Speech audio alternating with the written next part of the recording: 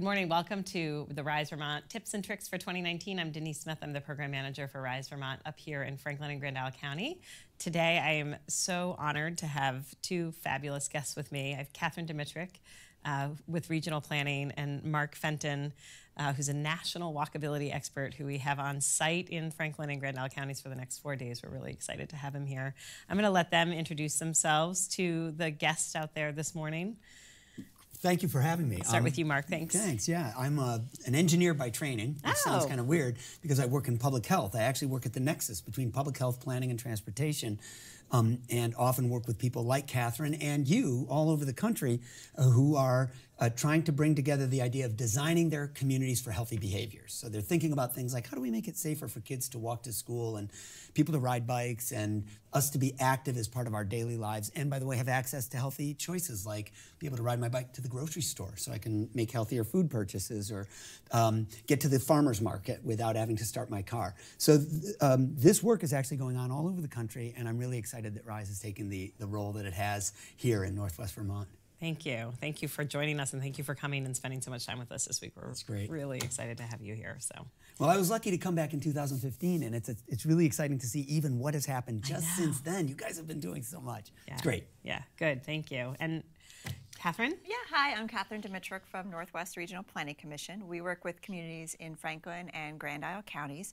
We work with them on community development, economic development, transportation, emergency preparedness, water quality, um, and we, we look at many of the same issues that Mark talked about from a different perspective, but we often are doing the same thing, bringing together the needs of public health and community development, job creation, um, environmental conservation and looking at what can we do to help our communities thrive in the future when we're considering all of our goals in those areas.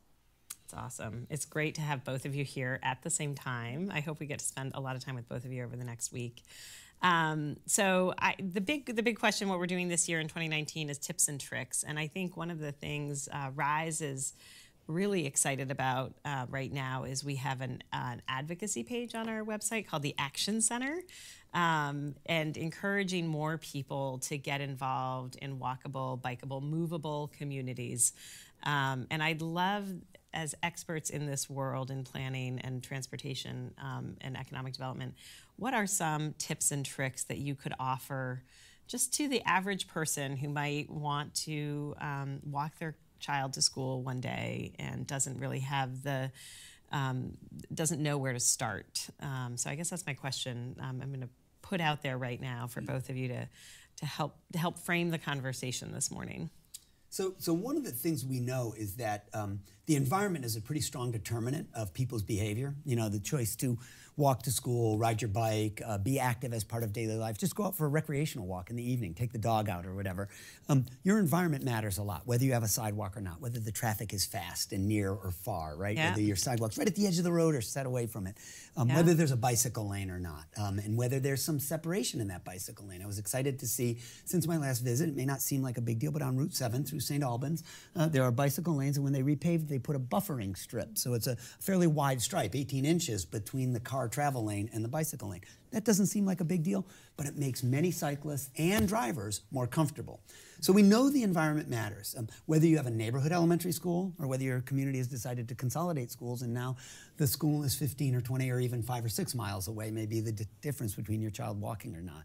Um, so environmental decisions, whether they're land use decisions or the transportation network or even the details of design, safety, whether the building is at the street or set back. We talked about the Ace Hardware on 7 yeah. here in St. Albans. Yep. The fact that that, having been more, built more recently, was brought up to the street versus what we did in previous decades. If you look at Hannaford's or the Walmart, they're set back in the giant parking lot is the first thing to greet you. So if I arrive as a pedestrian, I still have to get across the parking lot to the front door.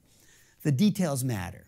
So uh, the first thing I tell people is be an agent of change. If you possibly can, bring your voice to these conversations. And, you know, Catherine can give you a sense of kind of how those decisions are made at local planning boards, village boards, select boards that, that grant the permits to developers and so on. That matters a lot to be a voice of change. Uh, but before you even do that, one of the simplest things you can do is role model the behavior. You know, be the person who does walk your kid to school one day a week. Choose during the summer when the weather's nice. If you could, ride your bike to work once in a while, even if you can't do it every day, um, to, because you being out there invites others to do the same. Yeah. So you know, it's it's think about your own behavior, but also think about can you be a voice for change in the community as well. I love that. So Yeah, how would yeah how would Well, someone and I wanted to, to build on that a little bit. You talk about uh, being a role model and, and modeling that own behavior yourself. The reality of many of our communities is that it may not be possible for you to walk from your house to the school, but that doesn't mean you can't drive to a place where then you park and walk from there. So it doesn't have to be all or nothing. It doesn't have to be perfection. You can find the places where you can make a difference, where you can alter how you get around a little bit. That's right. And that can really matter. And the second thing I wanted to say is that no, you don't need anyone's permission to be a leader in your community. You don't need to check in with anybody to use your voice to advocate for what you think your community needs. So that's first. But then I'm going to tell you about some ways that you can get involved. Um, I love that that being first. You don't need right, anybody's you don't permission. need anybody, you don't need to ask anyone's permission to step up and be a voice in your community. That's great. But if you, the people that you want to talk to are your local planning commission because they often make the land use decisions, the structural decisions about what happens in the community. You want to talk to your select board or your village trustees or the city council because they hold the purse strings.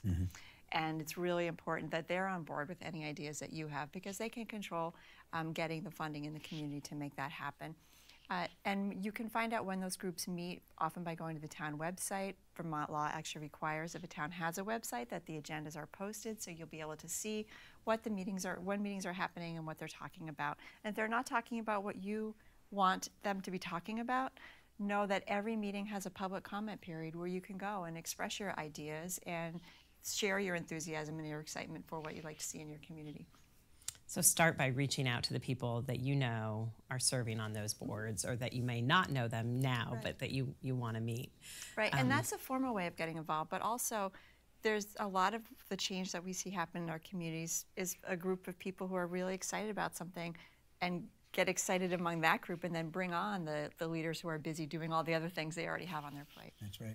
I, re- I remember years ago we started the Walk and Bike St. Albans group, which is now um, full circle. You know, uh, a few years later is actually coming back and sort of uh, being uh, reborn again in some ways. And and that was uh, the group of people that worked with the safety committee. Who who knew? But the safety committee in the city council is the group that helped us find the funding to redo Aldis Street sidewalk. So they reallocated money so that we could then now walk our kids um, safely to school, and also to put in that nice um, the beaconed crosswalks with the flashing lights and the solar panels. Um, but that was all through that that small advocacy group that we formed um, years ago. So that's an, that's another great way of doing it is creating. Uh, cre- finding other like-minded people that want to do see similar change in your community. Absolutely. And it makes a big difference because when a community engages like that, then then entities like the state Department of Transportation have to listen. You know, so many of our small towns, the main street is the state highway as well. Um, and if a town has a, a unified voice and says, "Look, this is our, our, we want the feeling of our main street to be a main street, not a state highway. It's not just about moving truck traffic through fast. It should also be about respecting the businesses along this corridor. And I should be able to go to park once and walk to multiple businesses and safely get across the street to the ones across the street. Um, and, and indeed, by the way, there's research that says when communities invest in that, the businesses on those corridors do better. So we're talking about economic health as well as public health going hand in hand when we design for walkability, when we design for bikeability. That they're they are both outcomes, and it, as well as environmental health, as you alluded to. You know, we reduce the size of parking lots. We have less stormwater runoff. Why do we? Can we reduce the size of the parking lot? Well, because more people can now walk and bike to that store, or take the the bus to that store.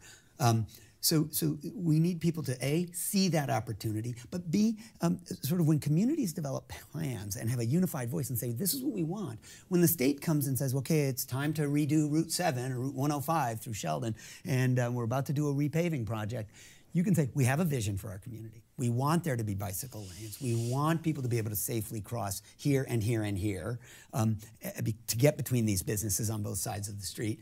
Um, the state has to be responsive to that. Uh, uh, you know, the state of Vermont ostensibly has a complete streets policy and says we're supposed. Complete streets, by the way, is a policy that simply says whenever we touch a road, we take into account all four users: the pedestrian, bicyclist, transit, and motor vehicles. So it doesn't say we design for the car, and if there's room, we stick a sidewalk over there. It says we think about all four and we make sure we design for them. So the state has So stated every transportation project has to have those four have to lenses. think you about have to it. think about that. Doesn't mean you put a bike lane everywhere, but it means you always ask the question, what's the right treatment for here? Mm-hmm, and that really makes a huge difference, right? Right, And that, that applies to local roads as well. It's not just state roads. Right. So Okay. if we as a community embrace that and say we really want that and here's what our expectations are, that can happen. So it's and this is important because people will often hear a board, say a select board, a, a, a city council say, "Yeah, well, we don't have the money. We can't build sidewalks right there, right now." Um, we found the most successful communities are what we would call opportunistic. When the opportunity presents itself, they make the improvement. When the road's being repaved anyway, that's the time to add the bicycle. When we're digging up a street to fix the water line that's underneath, that's the time to repair the sidewalk too, because we've got all the equipment out there, and the additional cost, the marginal cost, is actually going to be quite low while we're doing this While other we're already out there anyway. Why you're already digging it up. Yeah. So we find communities make great progress on this, even modest-sized communities that don't have lots of resources that say, "Oh, well, we don't have the money for this." Mm-hmm. It's not about a special fund. It's about having the vision, the community voices, and we're back to the tip, which is make your voice be one of those. If you have a vision for your plan or what you want to see in your community, you can share that with the people that are making those decisions. Mm-hmm. That's so and you important. can even become one of those people. Yes, get on Even that better. board. I Serve on that local planning board. My, my, my- in my town, this is down in Massachusetts. I, I served on my planning board and was chair for a number of years. My wife served on our, created our Safe Routes to School committee, and oh, we got hundreds of thousands of dollars in state funds to build some sidewalks um, because we had this active community group.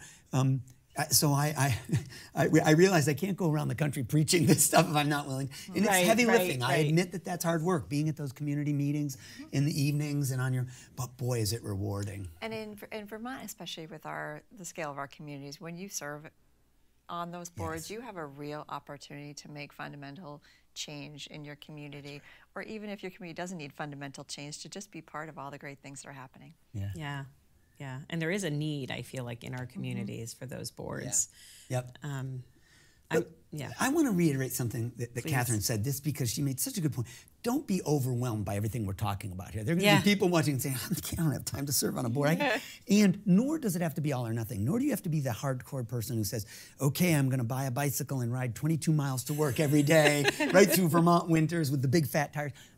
God bless the people who do that. know, I I- love I them. think they the are same awesome. They're, they're for models you. for all Yeah, of us, yes, right? And they're yeah. going to be healthy and live to 105 and be vigorous. and, and we do know there's really good research that says moderate daily physical activity confers huge benefits, right? You guys Yeah. know well. That's one of the reasons we're so supportive of what we call active transportation. But there Yeah, are other ways to do it. And another example that you gave was the, the parent who says, Well, I'm going to just park at that church parking lot that's empty on weekdays and walk from there to my kid's school. Yeah. It's not that long a distance. I could also drive to and from work, but keep a bike at work because my workplace is right along the rail trail. And I could during the day go for a quick ride or maybe even ride to the post office, the bank, the Walmart to do a couple of errands. Um, uh, maybe I could convince my business to have a fleet of loaner bikes. And on fleet could be two or three bikes. Right, right. That the be lot, right? Yeah, employees yeah, yeah. use during lunch hour to run errands, to just hop on a bike for a ride because we're right on the rail trail. We have a nice bike lane in our town. Um, in other words, think about what the incremental changes are that we could make. And we've seen workplaces do just what I've said, and the whole culture of the workplace starts to change. They're the group of people who say, We're going to go for a walk at lunchtime to go, we're going, we're going to go out to lunch, but we're not getting in the car. Yes. Um, we're going to hop on the bike. I got to run down to the bank. Does anybody need me to pick up anything at the pharmacy? Because I ride right by there. You know, and, and the whole culture starts to understand. So it's not just about the big trip you take every day, your commute trip, but there are a lot of little trips we take. We walk to our mom's house to check on how she's doing rather than drive there, and then take her for a walk, right? Rather than drive her to a park to just go sit on a bench. Let's actually go for a walk, mom. Uh, think about the ways you can bring this into your life in, in those small measures that add up over time. And Yeah. I think that you apply that same approach to community change and making communities more walkable. You don't have to go from nothing to building a five mile perfect sidewalk with granite curbs. So true. You know, maybe it's a series of informal paths that are connected. Uh, one of our communities, uh, Montgomery, when I was there, uh, they were talking about how there's been this series of informal paths that have created b- behind people's backyards Yeah. to get from here to there because people are okay with it. Yeah. And maybe that's where you start. Right. Yeah. And maybe we find some funds and we put some gravel down so that doesn't erode and it's safer. And maybe we even do some leveling work and make it handicapped accessible. We make it, you know, something that somebody could even Right, wheel but a wheelchair. start in. where you start with something Where you and are. you build from there. Yeah. That's a great point. I'd love for you to give us an idea of what we're going to be doing over the next week while you're here. Uh, I know we're visiting a number of communities in, Right. in this region. So I and any just what what what do you do? Well, how, do, uh, how do you do how do you do what you do? Blah, blah, blah, blah, blah, Yeah, talk no, about it Yeah, all. yeah, yeah, yeah. No, I'm really fortunate because often one of the, the coolest things we get to do is what we call walk audits, where we, and we're going to do a bunch of those in some of the communities that we're going to visit, where we get community stakeholders, and stakeholders could be any of the residents we just talked about, but also board members, um, uh, you know, other partners, um, uh, school officials, local business owners. Uh, and we're going to go for walks in areas where there might be opportunities, where we've already done good work, but maybe there's opportunity to do more. And we call it a walk audit because we are auditing the environment for its friendliness to the walk or bike or transit trip. So um, we will take a walk and actually score the experience on a zero to 10 scale and Oh. say, you know, I give it a nine because the sidewalk is wide and it's set back from the road and there are shade trees and benches in front of the buildings. Or I give it a two because it's a little path and it's right at the road's edge. Or maybe it's not a sidewalk at all. It's that worn, what I call goat trail. You know, that worn path where the kids are walking to get to the park or the playground, uh, but because there's no sidewalk there. And we give that a very low score. And we also say, what could we do to make this better? How can we raise the score here? Well, a safer crosswalk here to get from the side of the street that has the sidewalk, or maybe we create a sidewalk here where the goat trail is. Um, so we're going to be doing a lot of that, where we get out in communities, look at the environment through this lens, and ask the questions: What are some of the low-cost treatments? One of the things I like to show people are what we call pop-ups or demonstration Yeah, I projects. was gonna in- ask you. In Enosburg, Yeah. we're going to see one, right? They they've actually um, put in some temporary curb extensions, which brings the curb out. Shortens the crossing distance, tends to slow vehicles, makes pedestrians more visible. Um, you know, there's a reason you extend the curb at the intersection because if my mom at 81 can step out and still be protected by the curb, um, but be able to look beyond the parked cars and be seen by the traffic, right? She's not behind a parked car now. It's safer for everybody. Plus, she's in the street for less time if we've shortened the crossing distance, right? Because she doesn't walk that fast. Um, so we can test that stuff at very low cost. We can use paint and temporary bollards and planters and materials like that. So my hope is you're going to see more and more of that stuff popping up in the region because those will be ideas that'll come out of our workshops where we might say, let's demonstrate one here at very low cost, see if it works, check whether vehicles can still navigate safely and if pedestrians really feel safer. Um, I'm hopeful that, that that'll come out of a number of the workshops that we do this week. That's great. Yeah. One last question: What are some of the national trends that you're seeing in this work, and um, where the work of walkable and bikeable communities are going? I know there's some exciting research that's been done lately. Yeah, well, we're seeing this kind of community engagement that I just talked about being Yeah. very effective. In other words, communities that are being successful start by talking to residents, business owners, elected leaders, um, you know, professionals, planning, public works, engineering, uh, economic development, sort of convening those kinds of groups in interdisciplinary teams, if you will. So Yep. it's not just the health people, it's not just the planning people, it's not just the economic development. We bring them together as an interdisciplinary group makes a huge difference, as well as residents, citizens who just know what it's like every day trying to get their kid to school right across that state highway.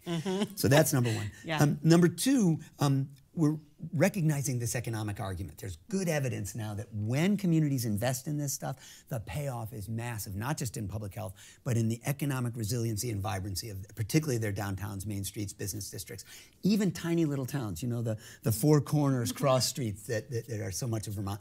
Um, you know, those businesses do better if we've created a place that's a destination worthy of me hanging out and walking to all four of those businesses, Awesome. right? Yeah. Um, third is this use of the low cost treatments, right? Okay. These pilots and demonstrations. But the biggie, number four, is policy change. It's the communities that say, we so believe in this that we are going to embrace a complete streets policy. In other words, we're going to say, every time we touch a road, we're not trying to find a gazillion dollars right now, but next time we do have money to touch the road, we're going to think about all the users. Make it a users. complete street, pedestrian, bike, transit, motor vehicle. Or we're going to change our zoning ordinance so that next time we build the ACE hardware, we're going to bring that building up to the street and we're going to require a bike rack and we're going to connect it to the sidewalk and put the parking next to it or behind. we're going to create main streets that, that are, invite the pedestrian, don't punish them. Uh, we're going to change our zoning ordinance. Every subdivision is going to have a sidewalk and that sidewalk's going to, if we're close enough, connect to the rail trail or to the nearby path or the, you know, the next subdivision over. Those ordinance policy level changes can make a huge, huge difference over time. And it's not like there's money that you're putting down right now. Nope. You're all you have saying, to. This costs political will. It's all- What it what it- takes is courage, not dough. Okay. So, and that's why we need the citizen voices. Give your boards the courage, and if they don't have it, challenge them. Say, why don't you have the guts to embrace a complete streets policy? Why aren't we updating our zoning?